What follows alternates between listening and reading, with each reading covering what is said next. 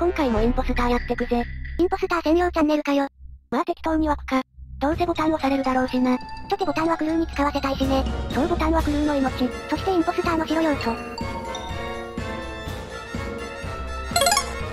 さてさて、キル取りに行きますか。簡単にキル取れると思っているの？思っているぞ。なんて厚かましい性格。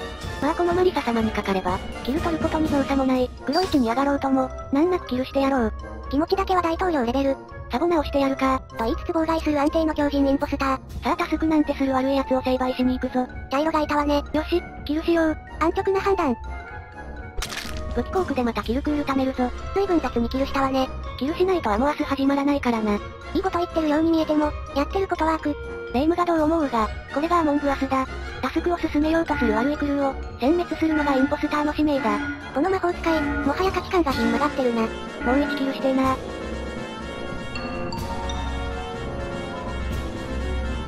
ちょっとこれやばいんじゃないかな？平気平気。議論でも何でも釣られなきゃいい。殴りかかってきたら殴り返すだけだ。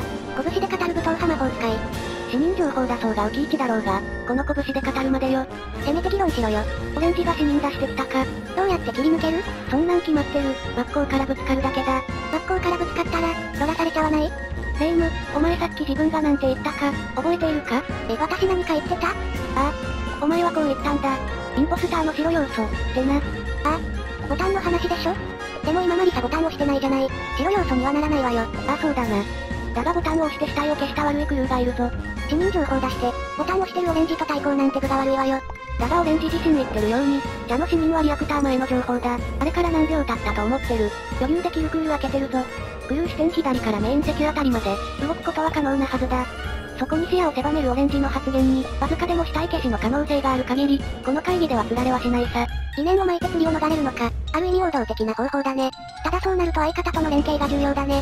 まあその辺は心配ないだろう。キルする意欲は、あるようだし、ヘイトを私に全振りしたからな。私は潜伏して、相方に動いてもらう。最終的にオレンジを相方が、キルしてくれたら最高って感じだな。結局相方任せか。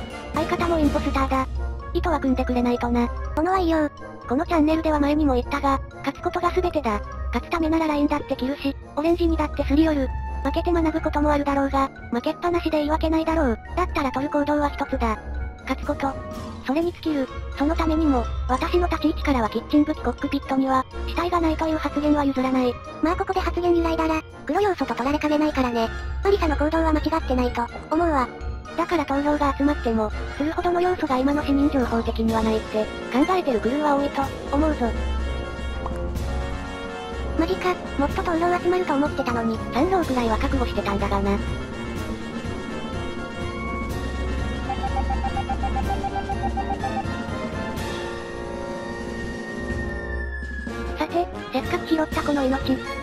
に使わないとな。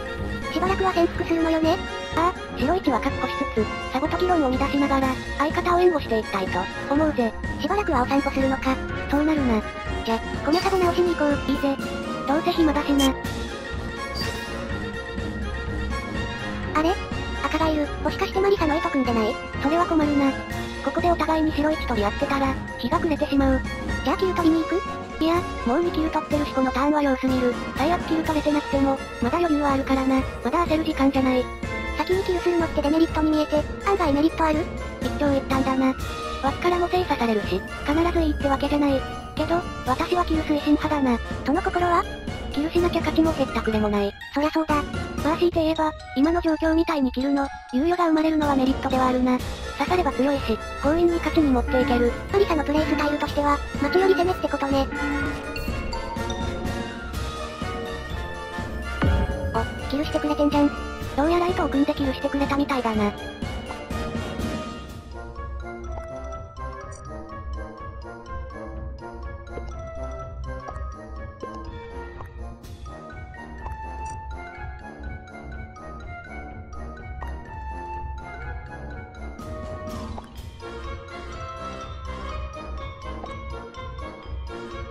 ここはどうでもいい情報出して、コミャサボの話でお茶を、濁そう。どうでもいいって割に、言ってることは事実だね。ここで嘘情報出して黒目になってもいいこと100ないからな。オレンジ随分突っかかってきて、うざいな。随分めんどくさいメンヘラに、目つけられたみたいね。レイム、こういう出会いの相手の仕方、知ってるか？え知らないわよ。こういうやつはな、大抵かまってちゃんなんだよ。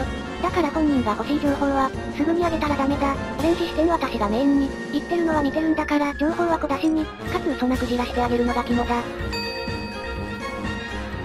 どうした？レイム。レイマリサ。あなたリアル私生活でなんかあった？何もないぞ。それ絶対何かあった反応だよね。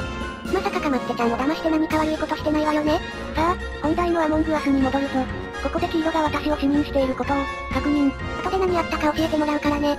メインに向かった時、並走しているのは黄色だと、私が勘違いしているクルーメイトを、予想。それって何か意味あるの？特にない。強いて言うならいらない情報を、クルーに流して、議論妨害と記憶違いを、狙った発言だな。後で容易に修正できる。こんな感じにな。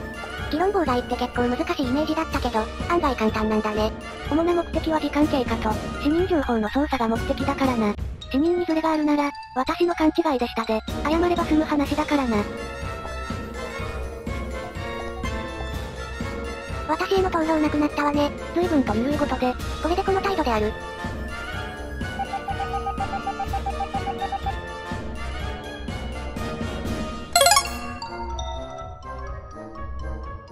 さて、そろそろかまってちゃんにかまってやるか。あら、相手してあげるのね。かまってちゃんは適度に相手してあげないと、どんな行動に出るか予想がつきにくいからな。適当なところで話し相手になってあげないと、すぐぐずるんだぜ。白い方熟知してるわね。ピンク球を私で追ってるのか、無駄なことを。完全に潜伏決め込んでたからね。無駄無駄無駄無駄無駄無駄無駄無駄無駄無駄無駄無駄無駄無駄無駄無駄なんか見たことある姿出てきたんだけど。とこれは申し訳ない。私のパワーが外に漏れ出てしまったようだ。相手が見当違いな方を、追っているだけでこの態度の、でかさ。事実を追いたいんだろうが、先のキルの印象が先行して、私以外見えなくなっているようだな。ここでオレンジの証言に、色をつけてやるか。キルしたターン以外は、事実しか語ってないからね。これが潜伏の強みだな。ダブルキルの時点でヘイトを、一心に受けた甲斐があったというものだ。なんであそこまでしてヘイトを、買ったの？レイム忘れたのか？勝つためだ。それはわかるんだけど、わざわざ釣られる真似しなくてもよかったんじゃ？レイム、お前は視野がクルーに寄りすぎてるな。クルーに寄りすぎてる？初手ダブルキル、茶の死人はあったが白は、なかったよな。えそうね。本来ならあそこでゲームは終わってた。え、大事なことだからもう一度言うぞ。ゲームは本来終わっていたんだ。どういうことこれはインポスター視点わかることなんだが、茶のキルは私。そしてあのターン語られたのは、茶の死亡についてのみ。白については語られていない。え、そうよ。どこにも視認されてない。そんなわけあるかあ、気がついたようだな。赤が左でやっているんだよ。そうか、だから白には言及せずに、茶の話に論点を、絞ったのか。赤もエンジンまでは来ていたようだからな。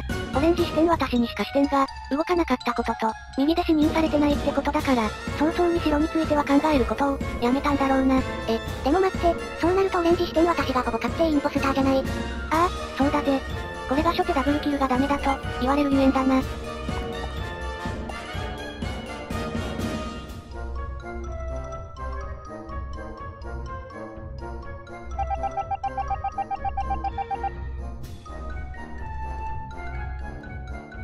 じゃあ最悪黒黒ローラーになってたかもしれないのね。まあ私がオレンジの立場で、その視点からすれば私と、赤を必ずローラーしてたな。他はほぼ全員右にいるんだからね。なんでローラーしなかったんだろう？単に見落としてたんじゃないか？もしくは私にしか目を向けられず、他の情報を切り捨ててたか、どちらにせよ、私赤で確定一陣外を、落とさなかったのは、大きな誤算だったってわけだ。マリサがあえてヘイトを受けたのは、オレンジ視点の陣外目から逃げられないからって、わけね。ああ、そうだぜ。は赤オレンジの視界外に、置きたかったってのもあるがな。だから所定外は潜伏に、徹してるのか。ああ、来たる時までな。それまでは白稼ぎさせていただきます。これ一番悪いやつだ。やあやあオレンジ君警戒してるね誰のせいだと思ってるんだこの人。そんな調子でタスクは進んでるのかな他人を煽ることだけは忘れない民度の低さ。今君は私の手のひらで、踊らされているのだよ。本当に踊っているのはどっちなんだか。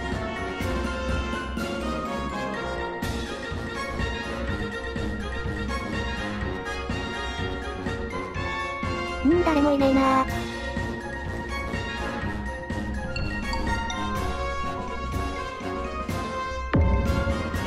うおー。よくやった赤。これで面倒なメンヘラともおさらばね。あ、落ちたのね、オーケーオーケー。あとは私に任せろ。散々人に任せておいてこの態度。別に私は勝負を諦めていたわけじゃないぞ。人に任せておいてよく言えるわね。その分私より多くキルできたんだからな。感謝こそすれ恨まれる覚えはないぞ。本来お互いに釣り位置だったんだ。私のおかげで視点から外れたんだ。そのくらいしてもらわないとな。くっ、こいつ前にも増して悪びれる要素かけらもねえ。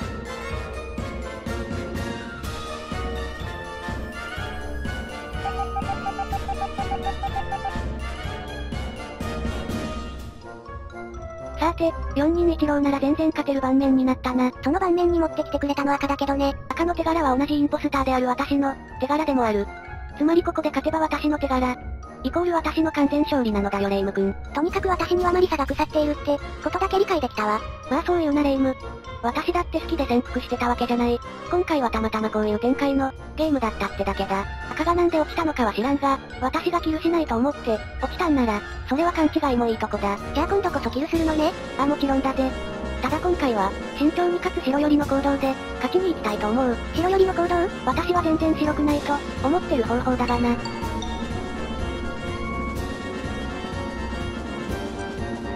ボタン押されちゃったじゃない。いや、これでいい。これでいいクルーがボタンを無駄に消費してくれるのは、インポスター視点ありがたいことだ。キルした後にすぐボタンなんて、この状況では恐怖でしかない。ああ、言われてみれば確かにね。そしてこのボタンでキルする対象がほぼ決まったな。ローズああ、その通りなんだぜ。ボタン持ってるからよね。もちろんそれもある。だが現状クルー視点で、一番白いのがローズだからだな。マルーンも私に白目を置いてきてくれてるこの状況だし、黄色になすれる状況を、作り出せたら最高だな。そんなにうまくいくもの？レイム。私は同じことを二度言うのは、嫌いなんだぜ。なぜなら二度言うのは無駄だからなんだぜ。今回ジョジョネタ多めじゃねもうわかっているだろうレイム。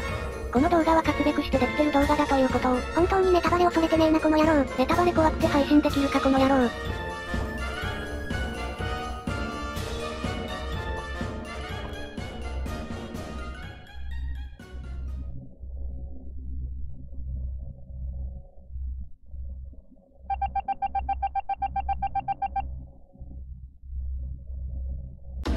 度こそ決めに行くぞ。また今回もリアクター？いやリアクターは散々やり尽くされてるし、前回の動画でもやったからな。今回はリアクターは使わない。けど4人一郎盤面って、リアクターがベストよね？なあレイム。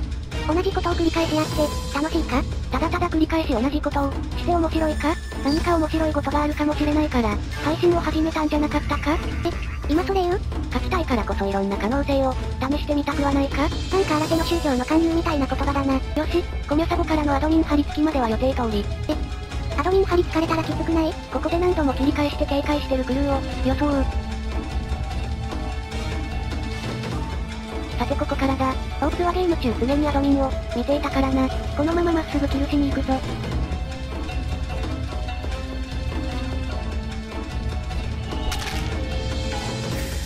え、ここでレポートするの？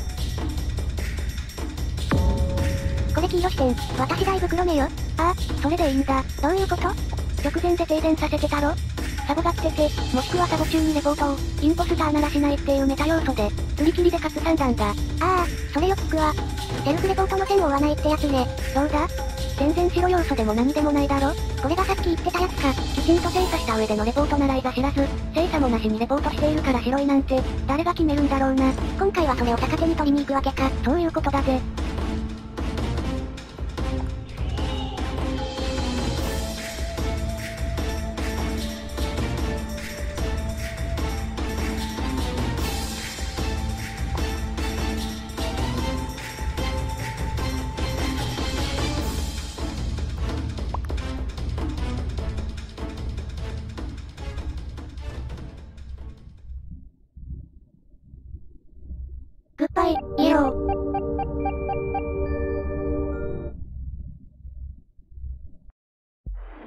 とかなったな。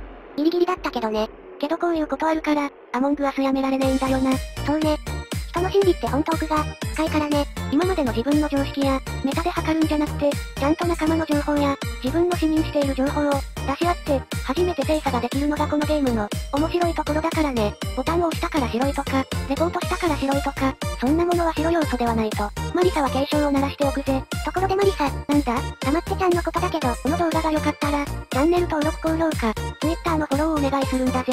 ちょっとマリサ、それではご視聴、ありがとうございました。逃げるんじゃねえ